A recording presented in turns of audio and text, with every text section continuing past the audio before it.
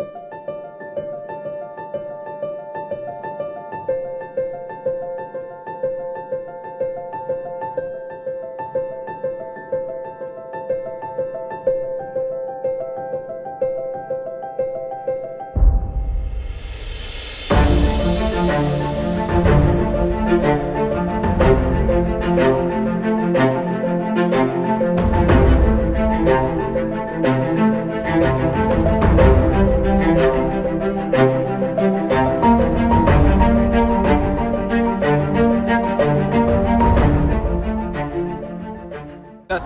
afternoon and uh, today we're going to do a video of how to whiplash. A lot of people I've known about riding, they just don't know how to whiplash these days. So quick tutorial of how to do it and hopefully by the end of this video you will be better at whiplashes. What do you think Luke? Should we get this done and sorted out? Yeah, let's do it. Alright, alright. So, first tip to whiplashes, you're gonna need a bike. Everyone's gonna need a bike. Second tip, a lot of people, how they normally first start it is they roll up, and I see them do this. Yes, that's good and all to get that way, but unfortunately when you actually do go and send it to a quarter, it's not gonna work. What you actually really need to do is hop on your bike and, and hop into it, like that. As soon as you get that landed and down packed, you've pretty much got the main basics of it on flat. You can do it on banks, whatever you want to learn, it's a bit easier. But I'm not going to show you on a bank because we're all men here and I'm going to show you how to do it on quarter. So first trick is obviously is to roll up onto a quarter and go into a foot jam. Um, sure, like a lot of people, what, can jams? A lot of people like to say learn can jams. Um, I kind of knew how to do can jams when I got whiplashes, so that kind of helped me put my foot over. Haven't learnt that, and if you don't know what a can jam is, it's literally just going into this as like on this side. Anyways, with your foot on the back pedal, and that's how you normally do a can jam. But with whiplashes, obviously you let it go around. Um, biggest mistake: people lean too far back, then they just don't get into it. Lean too far forward, And they Back- do what Steven just did. lean too far forward and they'd like to go head first into the quarter. We don't want to do that and we hope no one else can actually do that today. So, um, should I just like demonstrate to one? Yeah, do it. Okay. Alright, I'm just gonna go up this quarter.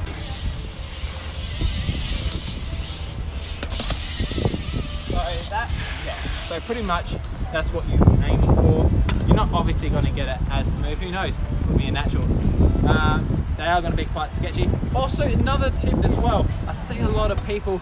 They like to go into their whiplashes on the quarter at this angle in a whiplash. Unfortunately, the problem with that is you're just too far forward over the bike and probably about 80% of the time you're not going to catch it or you're going to go too flat or you're just going to go over the handlebars, whichever way it is. Exactly the same technique with foot jams. Don't want to go too far forward facing into it. It's just so much harder. The best way to do it, this is how I got taught, is go up and more of an angle like that. If you go into an angle like that, the reason why I say this, for one, it's going to be easy to go into it, pull it back with the bars, and two, it's going to be easier when you hop in, it's just going to automatically whip you in, and you're going to land a pretty good. Um, not really sure much more, just just practice it on banks. Like, I learnt how to whiplash on the bank first, much easier, much better to commit, but to be honest, in my experience, quarters are a bit easier to do it on, just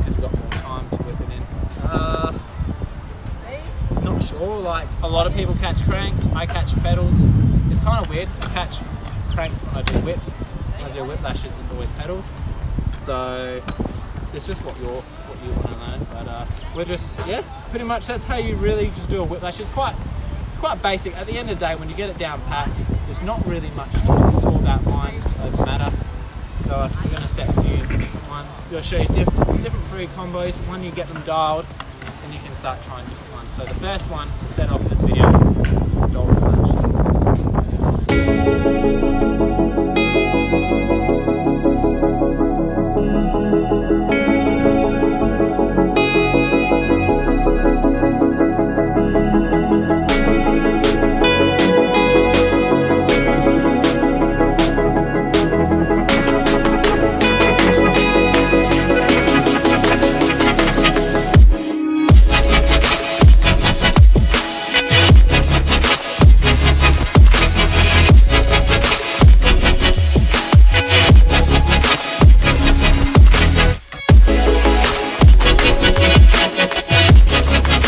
Alright guys, hope you liked the video. I'm going to be teaching you how to whiplash today. If you want to know any more tips or whatever other tricks and stuff, just comment below. Don't forget, see that button down there? Luke's going to put it down there Yep. or here, wherever. Subscribe and follow us on Insta and uh, and YouTube and everything. So uh, cheers for watching. Thanks for the support on the last video. There'll be plenty more coming. See ya! Wow.